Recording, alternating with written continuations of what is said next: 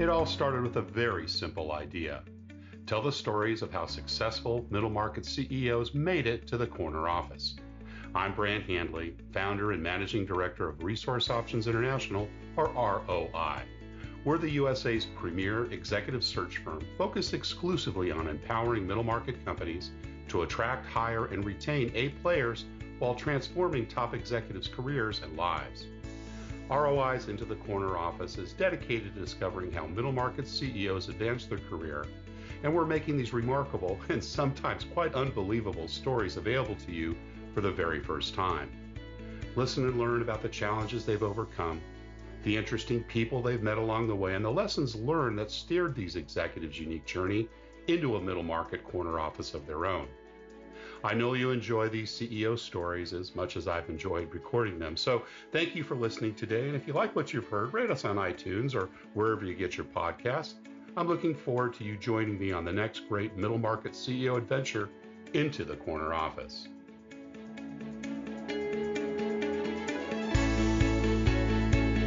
Hello again, this is Brandt Handley. I'm founder and managing director of ROI Executive Search, and we do retained executive search across the middle market.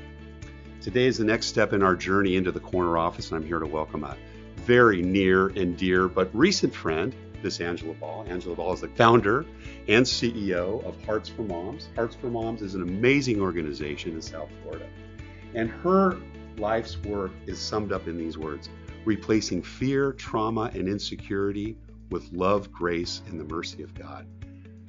Brings a uh, you know lump to my throat, Angela. Welcome. Great to have you here.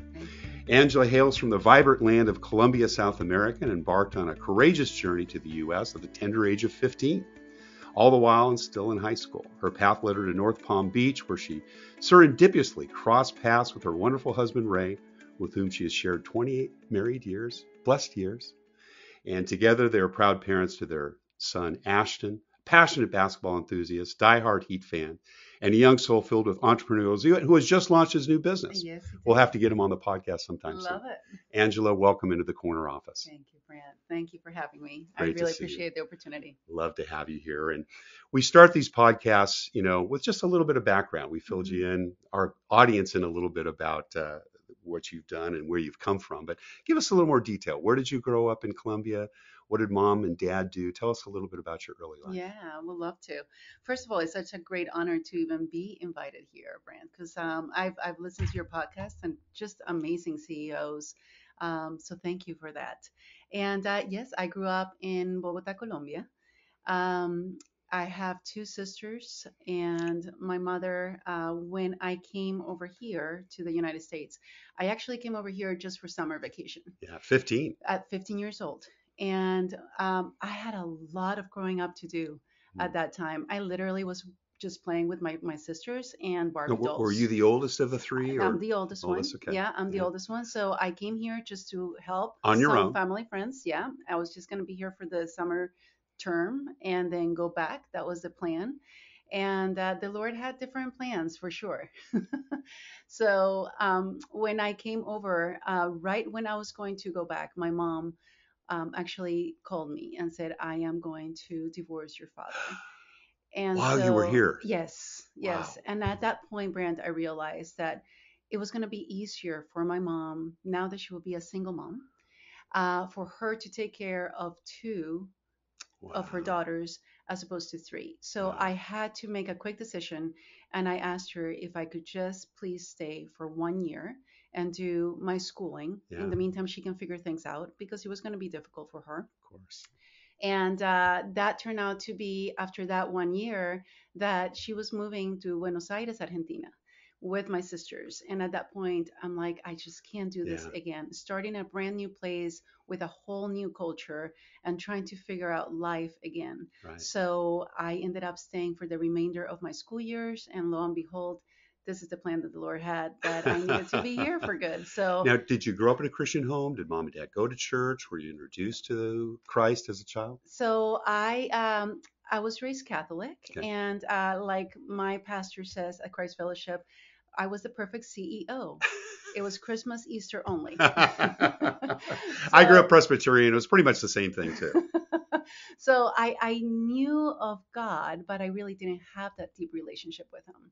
And uh, honestly, that's when, when my life completely turned around, was when I really entered into a one on one relationship with Christ. Yeah, yeah. And that happened here. It happened here. I was actually um, somewhere around 39 years old. Wow. I was a stay home mom. I was, uh, my husband and I decided that we were going to raise our son and I was going to be very available to him. I was doing a lot of volunteer work uh, for his school. But when the Lord started bringing me in amazing people Yeah. into my life and I really started seeking Him, I gave my life to Him um, again, sometime around 39 years of age. And that everything just turned around. My, my world was just flipped upside down. My priorities became God and then my family and then everything else. And I knew that there was just something. There was all of a sudden there was a calling that I knew that was missing in my life Mm. and a gap. Um, and I just started getting really thirsty for His Word, and I, I couldn't have enough. So, like the person that actually led me to Christ, Belkis, she said, I just wish that everybody that comes to Christ will be like you, that your heart just caught, caught on fire, Yeah. Angela Amazing. and I just thought that was the normal thing, Brandt. So my my heart has been on fire ever since. well, I want to rewind back a little bit to Yeah. that 15 year old girl. hmm Literally such an impressionable age. Now, did you come and stay with family here? With Was it some an friends of my exchange? family. Okay, got Yeah, it. And then yeah. did you stay on with them, or how did you kind of get through high school without, you know, that direct parental support and Yeah, guidance? I did actually. Other folks step in. so it, it was it was such an amazing blessing. Yeah. So when I came here, it was going to be so that I could help them with their house chores and Yeah. also with a convenience store that still stands there Ah. in the North Palm Beach area. And actually, that's where I met my husband. Got So it, I was I was working at the convenience store, whether it was in the cash register or filling out the cooler, cleaning up, whatever it was. lived with this family full and time. I lived with his family for full time, yeah. Wow, And uh, wow. then, you know, after I graduated high school, that's when I realized that I needed to kind of pivot and and kind of figure things out on my own. Yeah. And so I ended up moving out of their home, Got and my then boyfriend. 17, 18. I was about 18, 18. 19 years old, Right. Uh-huh. and I started going to college full time. Okay. And, And that was locally here. that was local. It was right. yeah, it was a local college, and I again I, I needed to work full time and I needed to go to college Yeah. full time as well. So Wow. I started cleaning houses, and that was part of what you. There's a lot of humbling when you do that, but I tell you what, Brent, it was a great experience Yeah. and one that I don't take away because I believe that the Lord had a reason for it all. And when you really become humble and and and just be willing to do what you need to do. It doesn't matter if you have to scrub the floors or be able to be at amazing meetings, meeting with incredible people. That's what you do. Yeah. So it taught me lots, and I'm I'm grateful for that. So you were dating your soon to be, or not quite yet, Yes, husband Ray yes, at the time, boyfriend right. Ray at the time. That's right. And what, did he come from a Christian family? Did he have a So not spiritual background? so some again. Yeah. He also was the perfect Yeah. CEO. CEO. yeah. So um, I we dated for five years, Wow. and then we married. Yeah. Uh, but Yeah. then after we married, we ended up traveling abroad. So my college education kind of came to a halt. Got it. Uh, we Did you ended up finish the degree? or- no. okay, so my passion was actually interior design. Right. Um, and and it's incredible because the path that the Lord took me is completely different from what I even started. So then we ended up living abroad in the Philippines for about a year and a half. Wow, what led you there? Uh, my husband's uh, job. His work. So he's in the golf course industry, Okay. and uh, Right. that that in itself was a again another humbling experience and very difficult because suddenly I am in a whole different country, Right. brand, and I have to kind of like start over again. Yeah. Same thing like I did when I came from Colombia, Right. and that builds you up. Yeah. All that Yeah. builds you up, Yeah. and then it just opens your eyes to see what's out there and again what what can you do so um, we from the philippines we ended up moving to australia and we live in melbourne for a good year Also following Ray in the golf Yeah. course development. Yeah. Now, did you assist with that business? Were you working? no i wasn't Yeah. Um, that was the hard part. Yeah, I, I have right. a really hard time sitting on my hands. Yeah, yeah. So well, what I did you do? How, let's start back to the Philippines. Were you in Manila or outside? So I was or- actually just north of Manila Yeah. in Marikina. We were Okay. in a typical Filipino neighborhood. Wow. And uh, for those expats out there, they understand the life Oh yeah. of what it is living in a in a different country. But yeah. to Taking be jeepneys around from yes, location to location. I know the you're Philippines very well. very oh, yeah. familiar with that. So it was um it was it was difficult because he will go to work Yeah. and I will stay home, but I had to figure something out. So I ended up um, getting involved with a nonprofit organization Ah, that it was actually a little children's home. There were it was an orphanage, wow. and that was the the first time that I truly started diving into you know a nonprofit nonprofit work. Yeah. And it was heartbreaking. It was heartbreaking Mm. to hear their stories, how they were abandoned. They literally were, were left by, by the river or in the garbage cans, and children that, that they were just not wanted. Mm. And uh, these are the children that I got to hold. And it, it, again, it built me up to be able to do what I, I needed to do eventually. You're eventually. 20, 21 at the At time. that time, early um, 20s. I got married at 25, so I So must have been about 26. 27 ish Wow. or so. wow. yeah. Yeah. Fabulous. And how long were you involved in that charity? So That for a good year, Yeah. I was there, and Right. then after we ended up moving to uh, Melbourne, Got it. Australia, which is Very again, different country. Holy cow, it was Back to the west in many ways, It was. I mean, it was beautiful country, right? a little too far Yeah. for our liking, um, but way from the beautiful people, just Yeah. beautiful people. So again, I was just trying to keep busy, meeting people, trying to do things. Um, you know, I'm somewhat artsy in the art world, so I started doing a lot of ceramics, things like that. But it was again, it was difficult because I couldn't do what I really wanted to Right. do. Were you still thinking about the fashion industry at that point? Was that still something you wanted to pursue, or Interior design. yeah, interior design? So interior yeah. design was it's always something that has been Yeah. my my Yeah. thing. You know, anytime that I'm able to go ahead and, and be creative that way, I love to do that. Right, Um, you know, I just couldn't do a ton. right. It was well, you didn't have a work permit. That was probably one exactly. of the It was problems. somewhat limiting. Yeah, So yeah. yeah. So, how long were you in Melbourne? for a good year. Good year. Yeah, Right. Yeah. And then what came next? so we ended up moving from Melbourne to Georgia, Atlanta, Georgia. Wow. And Another big uh, change. Yeah, yeah. Uh, it was incredible. We ended up actually working, my husband and I, for an incredible company um, in the crane industry. ah. So it's like completely different. So he left the golf so course. he left the golf, yeah, industry, ended up going in there, but then soon after about a year and a half that we were there, he missed the golf course industry and ended up going back to it. So we moved to San Diego. Oh my gosh, my hometown. Uh huh. I Yeah. mean, beautiful. Yeah. A little pricey, A little but up, yeah, beautiful. exactly. so uh, we were there for a good year and a half, and then finally we we knew that home for us was Florida. Yeah. His This was parents- Ray's home too. It is, Yeah. yeah. His parents moved from New Jersey to Florida, and uh, we knew that we eventually were going to be here Right. raising a family. Yeah. So Awesome. while I was in San Diego, I actually worked, and that was the first time that I really was exposed to um, marketing. Okay. And so I worked for Sysco Food Services. All right. It taught me a ton of things. Sales, marketing. More so on the marketing marketing side of it, yeah. yeah. and then creating some of the events and Right. point of sales, you know, Yeah. for for the team and things like that. So that was a great learning curve.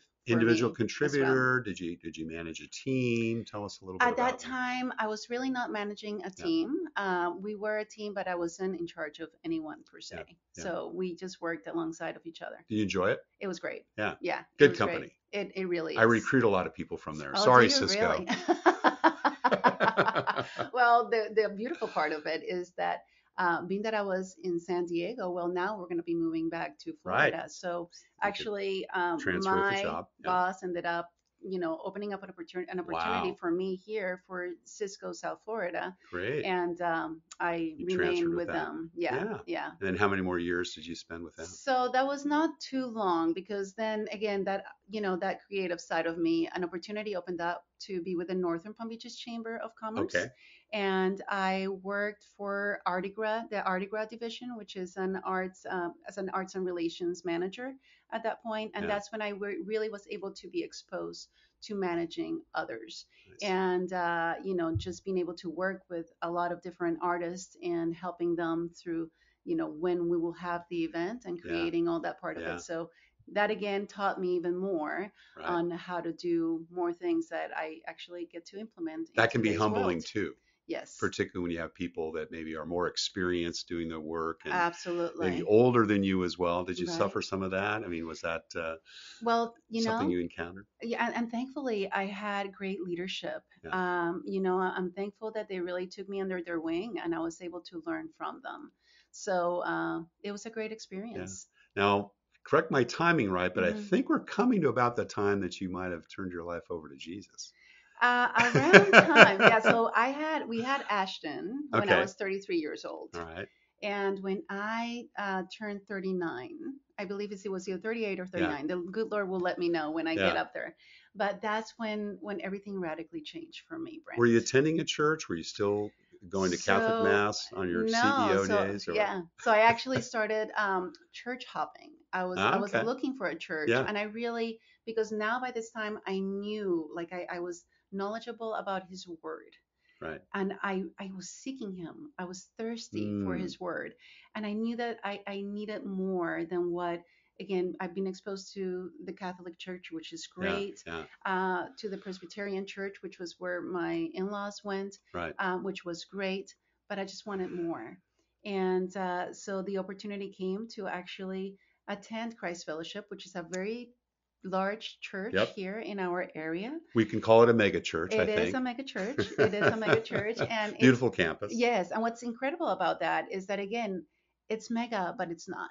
Hmm. When you get involved, when you really get into it, Small you- groups. It and- is. It's incredible. You really get to know people. Yeah. It's a beautiful environment. It's a beautiful culture, and you can make it all you want it to be. So you found your home. So I found my home, and uh, I have not left my home uh, since. Awesome. And that's when my husband actually. It was interesting because I knew that I was able to bring our son to church, Right. um, and then after church. You know, I'm all in. We can do whatever you want afterwards. And Yeah. but So he start Ashton started attending Sunday school. with my, well more Or- so with me More with you, yeah course, yeah, more with as me and yeah. then um again so grateful that ray wanted to do the same so Yeah. now we are all going as a All in. family yes exactly I love that. exactly so So so at that time, were you still working with Sysco, or did you kind no of i was transition? long gone Okay. long Because once Ashton came around, you were kind of focusing more on being a mother, or was there other work that you did? correct What, what was the next step in your in your work journey? Well, and, and it was really interesting because both Ray and I realized that that parenting is just so important. And because we were given the opportunity to, for me to be a stay-home mom, brand uh, we didn't take that lightly. But again, when I gave my life to Christ, everything changed, and I knew that there was something, something that was missing, something that I needed Yeah. to do. There was a gap Mm, and um, it's funny because I say, you know, starting a nonprofit was not on my bucket list. yeah. I, Right. It was not even on my peripheral view. And Did you get involved in any other nonprofits? we're- we're- I want to talk about Hearts for Moms in a moment. I mean, obviously, Sure. you want to get to that, but prior to that, you'd obviously had the experience in the Philippines. correct. You probably had some affiliation, or maybe knew of some in Australia Mm-hmm. and Georgia, perhaps. But was there other nonprofit involvement that you got involved with at that stage? Yeah. So right around when everything was changing in my life, that's when I started asking the Lord, Mm, you know, show me Guide what I need to do. I, I want to live my purpose out. And um, that's when I became involved with other nonprofit organizations Okay. that, again, no idea what the life of a single mom looked like, Grant. I really was clueless. And when I started asking God, you know, show me Mm. what I can do, who do I need to serve? I knew that parenting was like something that I definitely wanted to be part of. Right. And uh, I started getting involved with other nonprofit organizations that really taught me what those challenges that single moms Hmm. face every day, um, why it's so important for all of us to to understand it and know uh, what they are, the, the weight that they're carrying on a daily basis. Tell us about some of those challenges. What, so your moms i- face? it's pretty incredible. They they are left with having to carry everything, and it gave me such a great appreciation, Brandt, because again, I'm married.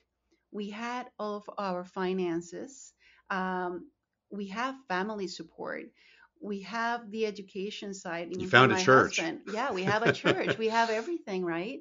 So when Ashton was born, we thought that okay, I'm an organizer, I'm a planner, so everything is you know the way it needs to be, and even my mom was with us, and everything was just turned upside down when he came because there was no amount of being ready that will just build you up enough to really be ready because there's so many things that are thrown your way that you just do not expect. And um, realizing that the single moms they have no support Mm. whatsoever. They have no financial backing. They're truly working paycheck to paycheck. They're just trying to survive daily. They're the ones that are making all of the decisions by themselves there is so much weight on that that you cannot actually go to your partner and and try to figure out things together What's the average age of, of a single mom here in South Florida? well so I, honestly it's really across the board it's Yeah. across the board um But many of them, it happens young. it happens well. a lot of them happen young but however 20s. there's yes but there's a lot of moms that they are ma- they get married and then They they, become become, single divorced and that's really difficult because when Yeah. you're going from a dual income Right. to a single income family, it's even worse for them. And that's why they need even more support. Right. But I will say that a lot of my story and the reason why the Lord brought me here, Brandt, was truly because of my own testimony of abortion that I had when I was 19 years old. Mm. Again, I didn't know God as I know him now. And the Lord now has me in a place of where I am I'm healed, but it's also a platform that I need to share with many. And this is not just a woman thing, but it's an all of us thing for man as well that they have made that decision but there's healing that needs to take place. And that is so important. And then realizing that again i didn't make that courageous choice of life despite my own circumstances i still did not have enough courage to be able to do it again i was with my boyfriend now husband right i i would have had that family support but i chose differently and when my whole journey with Christ began, the healing that took place was incredible. And Mm. at that point was when I really realized that I wanted to be part of their voice and support system for single moms because they're being so much more courageous and and braver than I ever Mm. ever was. Is education an issue as well? Many of the single moms either haven't completed, sometimes even high school, let alone Mhm. college, Yes. regardless of maybe of what age there are. Is that It is. It is because what happens is uh, about 2% of single moms will completely drop out wow? and they will actually 2% will will finish We'll finish, college. yeah, right. Well, 2% will finish college. Uh, but they they drop out otherwise because they're in full-time mode of working and just being able to provide for the basic needs of their children. Um, so that's one of the biggest things, and we'll talk a little bit more about Yeah, that of yeah. why it is so important that we make such a big push towards education for for the single moms that we serve. So it sounds like you were kind of going through a research phase, Yes. figuring out what your next step was going to be, asking a lot of guidance from the Lord in Yeah. terms of where you're going. When did Hearts for Moms kind of come to fruition for you? What how many years ago was it? Was there a defining event? Mhm. Was there prayer that was answered? Tell us a little bit about coming to that determination. I've been serving single moms for already over 13 years. Wow. So it's been that long, and I'm like, wow, I, I can't believe that it's been So it started that long before the nonprofit was even established. Exactly, because again, I was serving at different capacities through other nonprofit organizations, which really helped me understand what supports, you know, what the supportive services needed to be. The one thing that I was determined, along with the board, Brandt, was that this was not going to be a band aid solution. Hmm. It needed to be a comprehensive and holistic solution that we will bring to the table because again one supportive services one supportive service does not work without the other so what we realize is that what good it is to provide for childcare which childcare is very expensive about $250 a week Wow. average per child that a mom cannot afford Hmm. so what good is for us to be able to subsidize or cover the cost of childcare if they are facing homelessness if they're about to be evicted from their their rental. And what good is having a car again if if they're they're just all across the board on crisis. It- and not having a car. The lack of not having public transportation here in our county is terrible. Hmm. it's not like you can just go ahead and and flag a bus and go you know like new york. I mean they have an incredible public um, system transportation system but we don't. We lack that. Right. so on average what i noticed is that the moms were spending anywhere between three to four hours on a bus Just or commuting going to their work. yeah or just Wow. going from one bus station to the next Hmm. so we knew that we also needed to bring a solution for transportation um, we also needed to bring a, a solution for education and establish some scholarship funds because again the moms if they're not onto the path of growth then we're doing nothing and they will be forever stuck on that welfare pit Right. that continues to hold them prey. And that that's not what we want. We want to make sure that we are going to allow you know bring that support system that team that is needed the resources that is needed for in order for a mom to be able to thrive. So um, that's why being able to say okay you you need to go onto the path of education whether it's college vocational training or certification or possibly entrepreneurship we are right now uh, wanting to start creating a program for the future single mom entrepreneurials that we're having. I, I'm literally working with one right now, Brandt, and it is so exciting to see because we've seen the potential. We see the gifts that this young mom has, and we're like, wait a minute, let's start with a side hustle. Let's start thinking about You're about adding a stage. absolutely. Let's think about multiple streams of income. Yeah. And and it's so important because yes, we okay, keep the job that you have right now because it's definitely giving you the the insurance coverage that you need is not enough. So we do need to create some kind of side hustle. Let's think let's start talking about you know creating starting your own business Right. and Right. now we're in in the works of trying to get entrepreneur entrepreneurship coaches entrepreneur coaches that will come alongside of the moms and be able to guide them through that process as well so so education is a huge push for us that is it's a must in order for them to continue to be I- part of the program I, I love it. Uh, you know, and just to summarize, it sounds like you know you you did those research and kind of realize it's a multifaceted issue. yes And you know, the old adage, you can you know feed a man a fish and he eats for one meal. You teach him how to fish and he can eat for the rest of his life. exactly You're really providing all of these various issues, which helps them really kind of change their economic status, absolutely but also provides that type of internal uh, faith in themselves, hopefully, Mhm. eventually faith in God absolutely but but more importantly you know that self confidence really to to go and, and move forward so so let's fast forward so so uh, hearts for moms was founded in what year so it was 2017 2017 yeah so what was kind of the inspiration you you did all this work you were working obviously with these various learning all these things Mhm. you just finally say look i need to dedicate myself full time to this you know Ashton's already a teenager he's off Mhm. you know doing his stuff after school and Mhm. walk us through that process of founding Yeah. So again, because I was working with other nonprofit organizations, I was serving um, at many capacities. To be honest with you, I was I was all in full time. I didn't care what I needed to How do. many nonprofits were you working with? A couple of them. A It was couple. two of them. yeah. And so I realized that again, the bandit approach was not going to be what we wanted, and that's why starting this nonprofit organization seven years ago, it, it helped us build a foundation to what we needed it to be.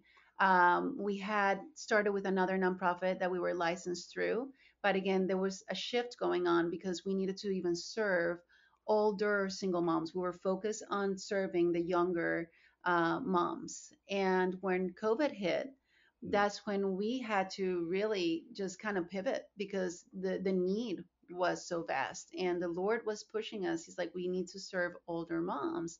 And we're like, haha, Lord, this is funny because everything is shutting down. Events are shutting down. You know, we're a nonprofit. We we depend on donations, Right. especially from the events.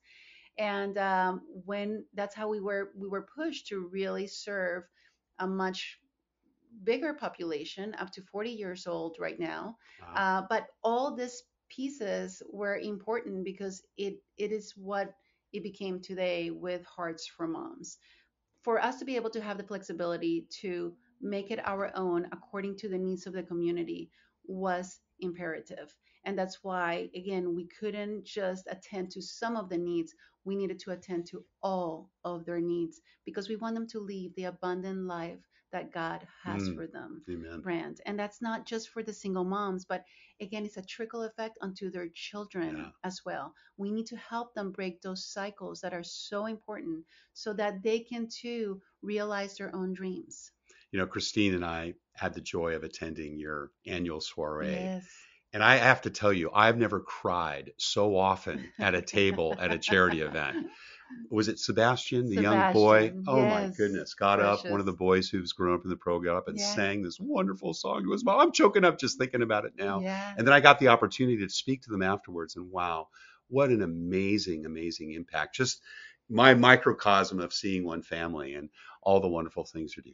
Tell us, how many folks do you serve now in South Florida? So right now we have again, it is a long-term commitment. Yeah, I want to emphasize that, Brandt, that if we're gonna break cycles and we're gonna Yeah. for the moms to really personally It's not a handout. No, and It's for not a them to really personally grow and develop is going to take time. Yeah. So on average, it's anywhere between five to six years Wow. that we will have the families. Again, as long as they commit, connect, and change, we're all in. We're walking the journey with them.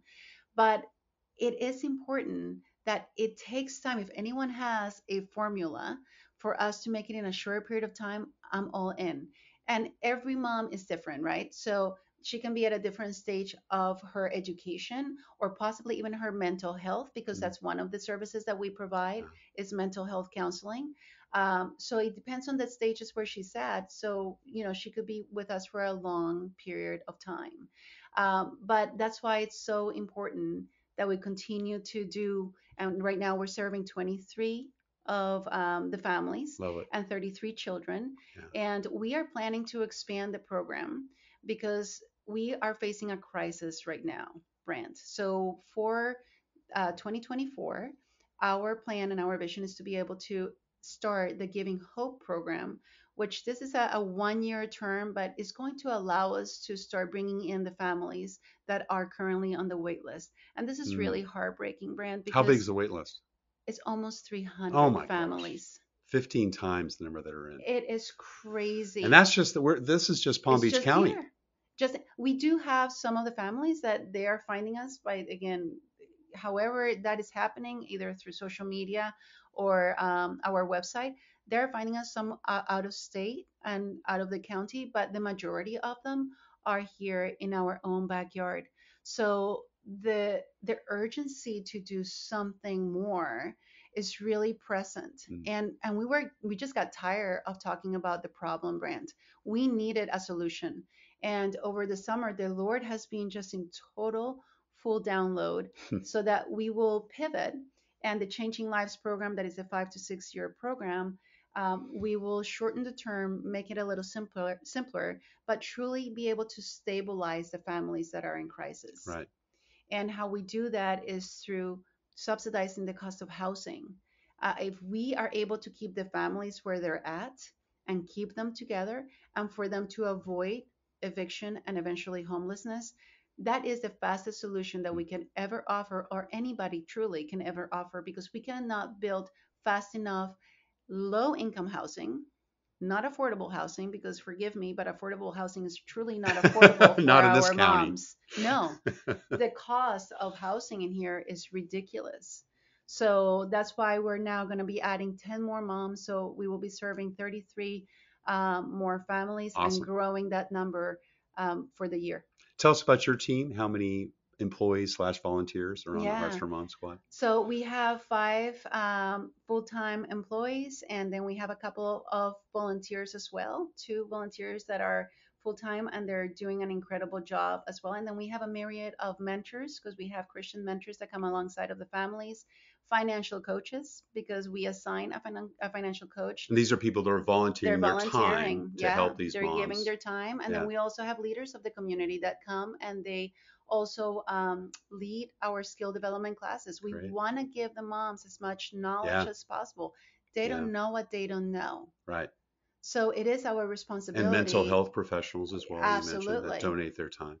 Well, some of them do donate their time, Yeah. but most of the time we are carrying the cost. contribute to that. Yeah, yeah, because it Yeah. is important. That was the one thing that we were missing, that the one service that we were not giving to the moms Right. for a few years. And then we realized that the mom is going forward, she's doing incredible, and all of a sudden she's shooting right back. Yeah. And we're like, what happened? Right. What happened is that she's going back to her normal Brandt. Routine. She is going the, the trauma and any triggers will set her back and, and that's why we had to shift that and we had to provide that service for Excellent. them. Excellent. What do you look for when you're looking to bring new people into the organization, whether they're volunteers or they're employees?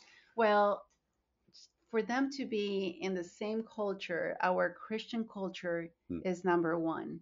Um, you know, I having someone that is really Christ center, a team that is Christ center, we know how important it is. This is we say often, God is our CEO Brandt. I actually have that sign above my door because it is a constant reminder that this is his ministry and therefore his culture, his values have to be every day. It have to be lived on. We have to breathe it. It has to be part of it. Being in prayer, being able to speak truth in the in the lives of the moms is very important. Even some of the curriculum, actually all of our curriculum that we offer, but part of what we um, just partner with through Single Mom University is all Christ Center because His Word is just transformational. Yeah. So I need to make sure that our team is in sync with God's values as well. Do you do quite a bit of in-depth interviewing then? How do you kind of get at that? How do you determine the Well, right folks for your team? being that we're fairly new, I, I will tell you, um, interviewing that's a you know hiring people is a very it's art and science. Oh my it's word. art and science. I'm still learning through it, but I think I love what one of your uh, guests, I believe it was Vince, that ended up saying that it's easier to be able to teach the skills, uh, but you know to really have that person that you see their heart Yeah. and their personality just really blends with your culture and your values. You know that's what I look for first, Yeah. and of course we want those skills to come you know right alongside but i think i think that really being able to see who they are and um, how they live life it's really at the top of our priority when when we hire I was talking to someone earlier today at, at our men's Ah, Christian breakfast, which yes. happens today. And tomorrow, of course, Thursday, we're recording this on a Wednesday, is the women's breakfast, where, of course, we Right. met and were introduced to Christine. yeah But I was saying that, you know, the perfect employee is really finding that intersection between passion and what Mm, God's gift is to them. yes I think we're all given some gift. Yeah God does not want us to fail economically. Agreed. God does not want us to live in poverty. agreed But to be able to really kind of understand where those gifts are and then match that up with, you know, at least an ounce of passion to make things happen. absolutely and passion i mean that's the part that Yeah. really is is the vein of everything that we do Love the work that you're doing. Angela, we always have one last question we ask. Mhm. We're, we're almost out of time. This has gone so fast.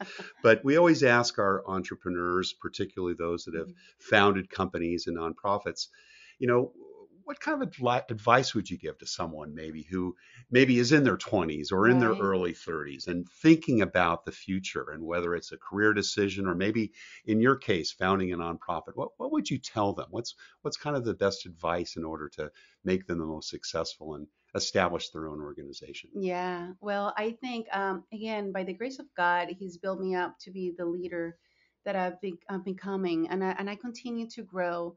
And I think that is the biggest part is just continue to grow, um, reading, learning. Um, Brooke Thomas, uh, which is also a great coach, she says if you're not growing, then you're dying. And um, one of the things that I love to do is that I love to give books out Mm, because they speak to me so much um, and and you learn so much from it i mean I, i'm a fan of dr john maxwell um, i read so many of his books i really try to implement a lot of his teachings uh, but also surrounding yourself with very wise men and women Mm. it is so important because you don't know it all and this girl needs all the help that she can get again, this is something that has been a big position that has been given to me, but what I don't lack is the love and the passion. And that has been um, huge driving factors to continue to do and stay the course because the need is so grand. But I cannot do this alone. I need to surround myself with a lot of wise counseling. Mm. And and the Lord um, he's been blessing me, Brandt, and he actually recently he said that he's sending me destiny helpers, and that is such a powerful word. And it is 2024 is just like it's going to be such an incredible year. But he's already given me so many people that want to come alongside and pour into me. So that would be a, piece of advice that you gotta be open. Yeah. You gotta be open to those that the Lord bring to you. You also have to be discerning, right? You need to make sure that they, again, they are of God. Um, that this is truly who you need to be able to pair up with and do life with and learn from. But um, do not stop growing. Continue to read. Continue to be coached and mentor mentored and that's one of the pieces of advice that's why it's so important when we see a mom and we we recognize her gifts and talents how are we going to be able to hone into it what kind of assessments even are we able to facilitate for her to have so that she can continue to be on that path of of you know to grow so you're doing God's work, Angela. Amen. It's all His. Angela Ball, founder and CEO of Hearts for Moms, uh, yes. uh, serving single women, single mothers, and yeah. their families here in South Florida. Thank you so very much for sharing your journey into Thank the corner you. office. Thank you. Thank you for listening to Into the Corner Office with Brandt Handley. We hope you enjoyed hearing our guest CEO story as much as we did. If you want to hear more CEOs reveal their journey into the corner office, please subscribe via iTunes and tell your friends and colleagues. For more information about Brandt, Resource Options International, and the mighty middle market, visit www.go4roi.com. We look forward to having you join us for our next episode.